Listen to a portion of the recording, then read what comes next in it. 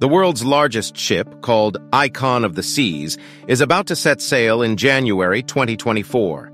The ship, manufactured in Finland by a company called Royal Caribbean International, will carry 5,610 passengers and 2,350 crew members. The Icon of the Seas is five times bigger and heavier than the Titanic, weighing 250,800 tons, while the Titanic weighed 50,210 tons. It measures an impressive 1,188 feet in length and 138 feet in width.